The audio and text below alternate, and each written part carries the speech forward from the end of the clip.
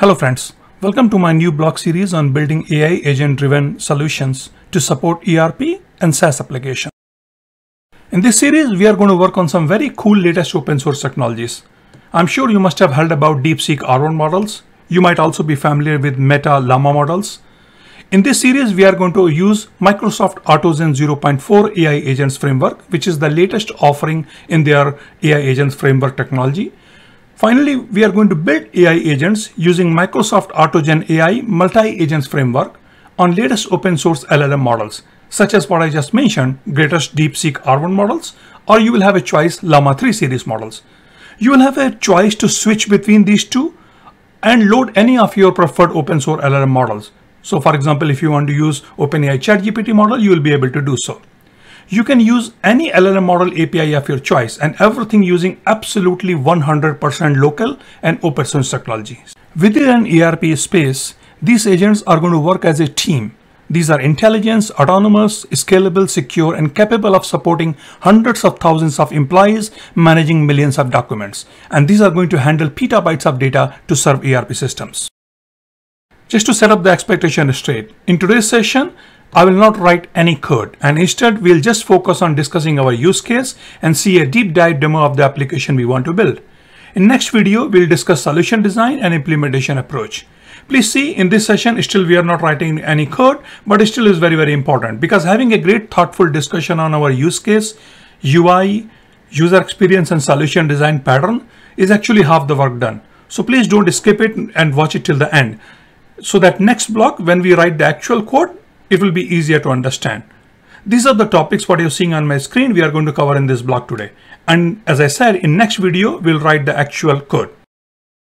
So what's our objective? Why we are here? So I'll keep it very short and simple. In this block series, we are going to build an AI agent driven ERP solution that's intelligence, autonomous, scalable, secure, and capable of supporting hundreds of thousands of employees managing millions of documents and handling petabytes of data to serve ERP system.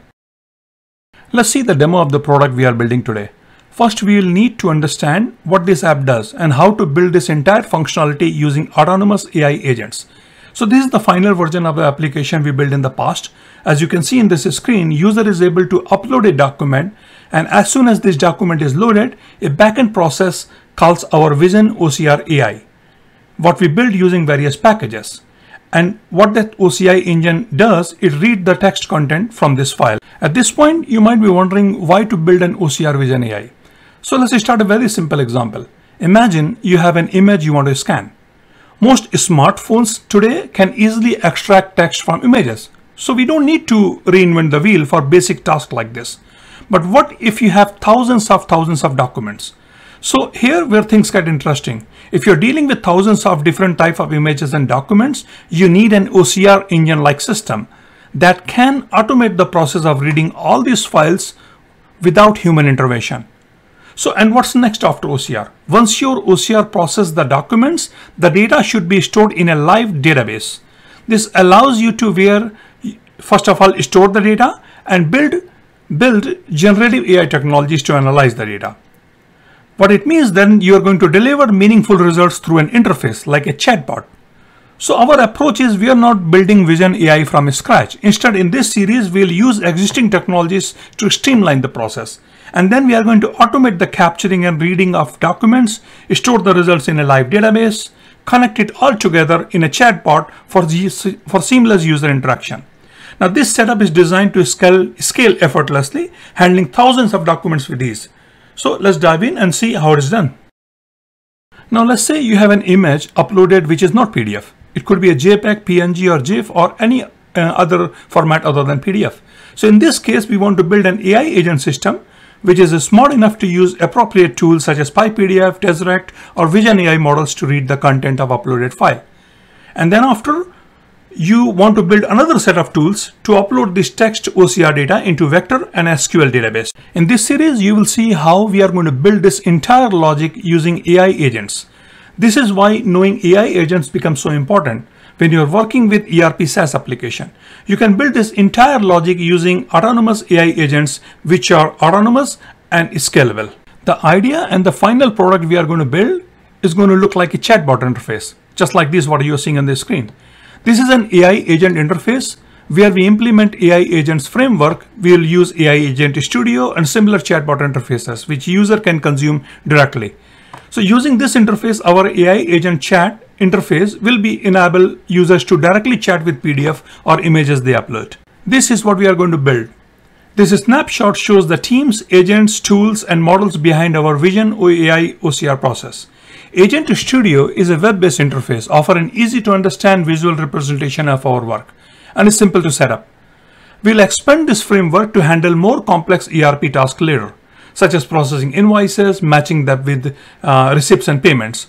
So this foundation work we are building in this series is going to support many future sophisticated use cases. As we move forward building a more advanced ERP solution, you will need to dive deeper using AutoGen agent and AutoGen core to leverage full event-driven programming and distribute AI workloads such as a multi-agent framework. But for now, since this app is very, very straightforward, we are just going to use Agent Studio and Agent Chat. Please keep in mind that this is an intermediate level series. So you will need a basic understanding of ERP systems, generative AI, machine learning, LLM models, Python, SQL, vector databases, PyTorch, and transformers. So if you're a beginner, still don't need to worry about this. Just watch this at a slow pace. And still this series will have a lot to offer you. If you browse to my GitHub repository, you will see some of the very complex business use cases, such as building help desk, time and expense, fraud, alert, waste compliance, autoresponder, duplicate invoices, inventory processes for pro systems. So you will see what you will need actually to implement all of this. You will need a detailed analysis, feasibility study, and building pro ERP and SaaS application. Actually, it requires extensive business process evaluation, solution design, and architecture.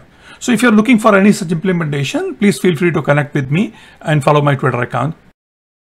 Now this is a code along series. So where we are going to write the entire solution from scratch to automate ERP process. I also have two beginner friendly series for those who want to learn the fundamentals of generative AI and how to create a simple AI application. So if you're looking for beginner friendly tutorials, be sure to check out these two videos. First video is when I built OCR Vision AI using open source technology, and second is about using Gen AI RAG uh, tools and how to host, build, and uh, serve those applications. So you can also visit my X profile highlights, or you can see my YouTube channel to find these two playlists. So here are the list of the AI agent framework you can use. As you can see, there are various options um, offered by Microsoft um, technologies like, you know, AutoGen Studio, AutoGen Chat, AutoGen Core, Magentic One, etc., etc. But for this uh, video and couple of other basic videos, we are just going to use AutoGen Studio and AutoGen Chat. But for more sophisticated event-driven programming as we progress building our pro applications, then we'll have to use AutoGen Core. So stay tuned. For a small task, use of tools and functions on Llama or OpenAI models are enough. You don't need an AI agent framework. But once you get into a stage when you have many, many tools and functions to manage, you will realize that using an AI agent framework like Llama Index, LangChain, Crew AI, AutoGen, and Swarms are often required. Now to, to, decide, spend no more than an hour reading the quick start guides. As you're seeing in the screen for Crew AI, AutoGen, LangChain, Llama Index, just an example, so these, all of these frameworks are very easy to begin with. All it takes to read their quick start guide. So here is the trick. How do I decide? I just open the quick start guides of each of these AI agents framework. Choose the one which you want me to immediately open my code editor and start coding. That's the best choice. Don't overthink it. The programming language, framework, or any logic which pushes you to open code editor is the way you want to go. You might question your decision later, but that's part of being a developer. You learn by doing. So avoid wasting time on videos or opinion. Just pick one and start coding. You will figure out the right fit within few hours. So for my business case, supporting a high performing ERP systems with significant complexity, data volume and frequency, here I choose AutoGen. Since my ERP runs on Azure, that's another factor. That's the reason I'm starting with AutoGen because it's easier to support within same cloud environment. Now, if I later on, if I feel LangChain or Crew AI, Crew AI would have been a better choice, I'll be happy to refactor this code. It's all part of the process. That's all I wanted to achieve in this block today. I wanted to quickly show you a brief demo of the product we are going to build in this block series and talk about all the approaches. In next block, we are going to discuss a high-level solution design pattern and architecture in brief. and then we are going to write the actual code. So stay tuned. Thanks for watching.